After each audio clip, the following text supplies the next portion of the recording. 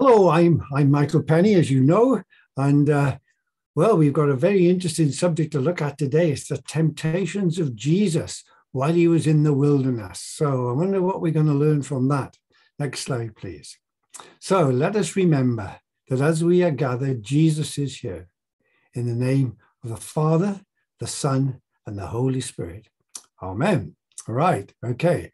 Next slide. So I am left asking a question and I don't know the answer to it.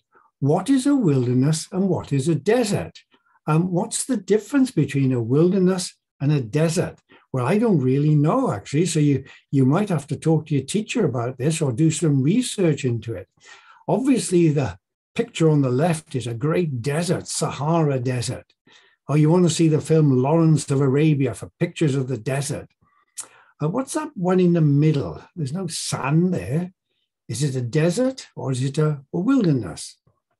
And the one on the right, well, that's the Arizona desert. I've been there. And it's quite interesting, actually, because although it looks totally dead, when it rains, and it doesn't rain very often, perhaps once in four, five, six, seven years, the next day, everyone in that area drives out to the desert because below that desert surface are lots of tiny seeds. And as soon as it rains, they just shoot up, grow very, very quickly because the ground is so warm. And the desert is covered in flowers. And of course, very quickly, the flowers die and the seeds are formed, and the plant dies, and the seeds fall back into the earth and they lay dormant for several years. So sometimes deserts surprise you. Next slide, please.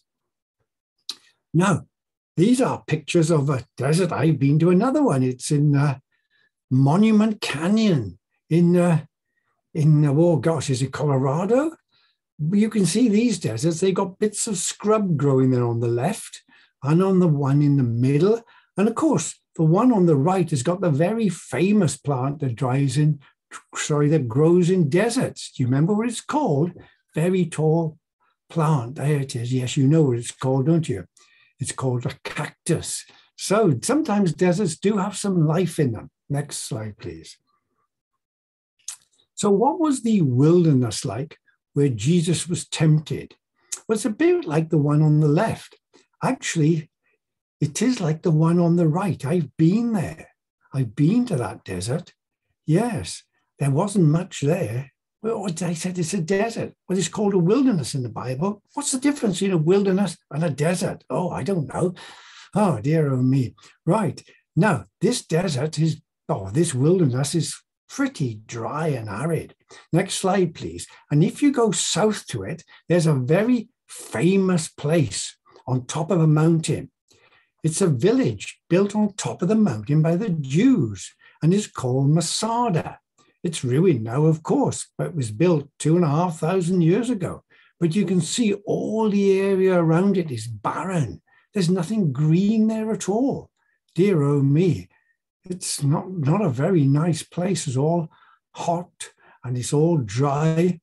And look at the picture on the right. You see, that's Masada from below. Now, the Jews thought that Masada was impregnable but when the Romans wanted to totally conquer them in AD 70, lots of the Jews flew to the top of Masada. And they sat there, and the Romans decided they were going to go up there. So they built a road. Well, Romans are very famous for building roads. You can see the sort of road on the right, can't you? It's called the Roman ramp. And they built that up. They put lots and lots of rocks and rubble there going up the side of Masada. It took them years to do it, but eventually they finished this Roman ramp and they went up there and they conquered the remaining Jews. But God, that was hard work. We went there and we climbed to the top of Masada by that ramp. Now, at the bottom of a ramp is a danger notice. It says, take plenty of water with you, stop and rest after every 10 minutes, don't rush, and I thought, I looked at that and I thought, well, that's a bit of an overkill, isn't it? I mean, I've climbed Snowdon, which is over 3,000 feet, and that wasn't 3,000 feet up the ramp. I've climbed Ben Nevis in Scotland, total 4,500 feet, I think, and that was nothing. And I've climbed Mount Guajara, Mount Guajara in Tenerife, a second highest mountain, 10, 12,000 feet. So I'm thinking, what's the problem here? But you know, I, I didn't even get a quarter of the way up and I started to pant. Halfway up, my lips were cracking, my mouth was dry. What was the problem? Next slide, please. So when we climbed Masada, we were soon out of breath and we were dry and exhausted. Why? When we visited the wilderness where Jesus was, we saw no plants, not even scrubs. Why not? When we visited that wilderness, we neither saw nor heard any insects. Not a fly or a spider or anything did we see. And when we visited that wilderness, we neither saw nor heard any birds. It was quiet, it was still. And when we visited the wilderness, we neither saw nor heard any animals no dogs, no cats, no rats, no mice, nothing. Why not? Next slide, please. Why not? Because of that sea there you can see on the left. Now, usually along seas and oceans and lakes, around them, you expect lots of greenery, but there's nothing around that. And that's why it's called the Dead Sea. And it's very low. It's one of the lowest points on Earth gosh, it must be about a thousand feet below sea level. And it's so salty. That's why it's dead. Nothing can live there. And all the salt goes up into the air as well. And Masada is just to the left of it. And that's why when we were climbing up that Roman ramp, my lungs, well, all the salts just sucked all the moisture outside the outside of your lungs, and that's why you have trouble breathing, and your lips crack, and your mouth gets dry, and your nose gets dry. So you've got to drink plenty of water. It is so salty, you can't drown in it. People just soak in it. You can't sink. And this is one of the things people love to do when they go there is lie on their backs in the Dead Sea and read a newspaper. Well, wow. I've never done that, but I've seen the Dead Sea and I've put my foot in it. I've had a paddle in it. But there we go. So that's what the wilderness was like. It was not far from the Dead Sea, a bit further north up the Jordan Valley, and it was dry and it was arid. That's where Jesus was tempted. Next slide, please. So the first temptation, and you can see Jesus had been there a long time. And the tempter came to him and said, If you are the Son of God, tell these stones to become bread. Well, yes, that's tempting, isn't it? Dear oh me, particularly hasn't he hadn't eaten for a long time. But this was the answer Jesus gave.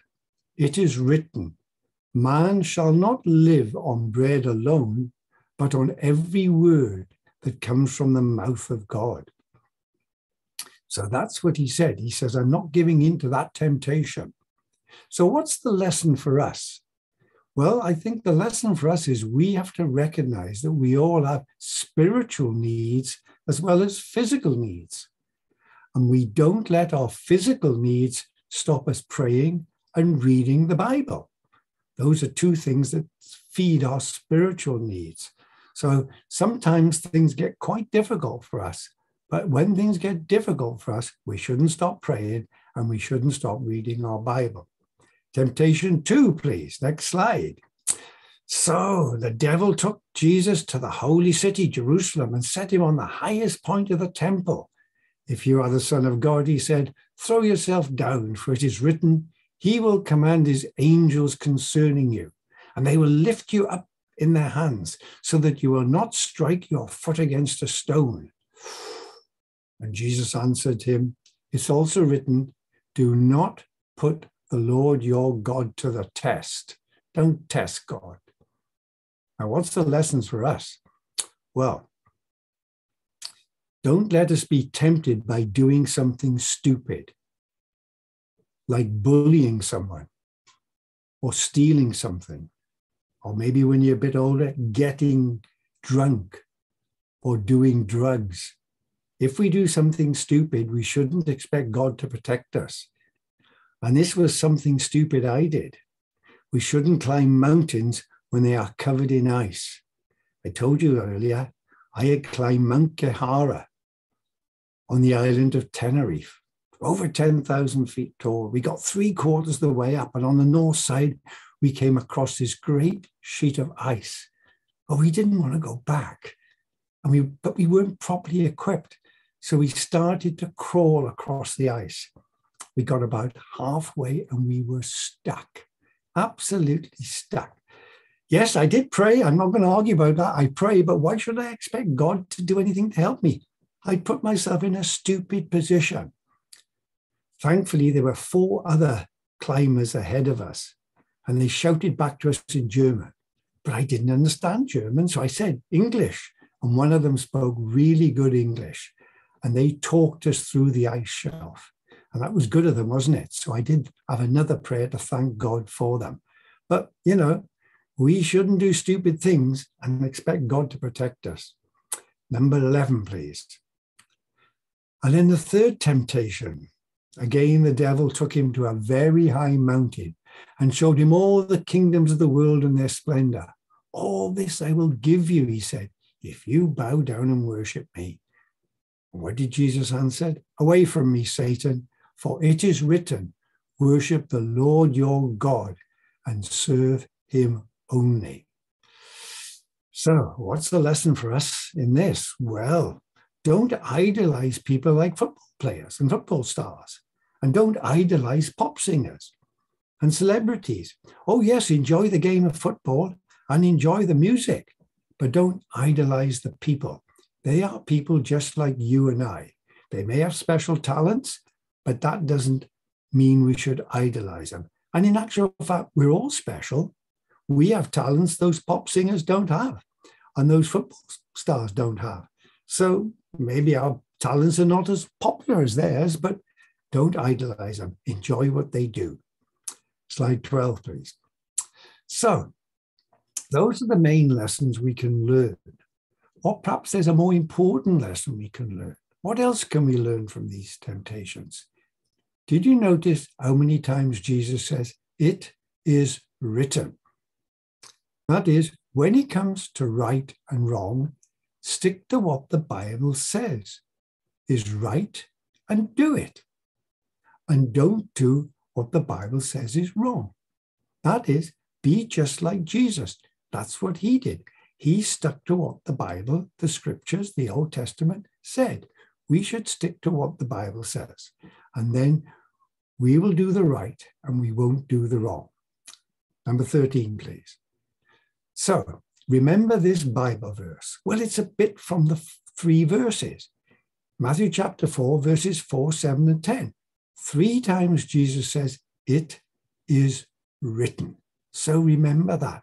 It is written. Okay, let us pray. Lord Jesus, you overcame Satan's temptations. I ask you for your strength to stand up against each and every temptation each time I encounter one. Help me to stay awake spiritually so that, so that temptation won't catch me by surprise. Amen. Next slide. So let us finish as we usually do. I'll say the bits in black and you can reply with the bits in red. So let us depart. We go in love. We go in love. We go in joy. We go in joy. We go in peace. We go in peace.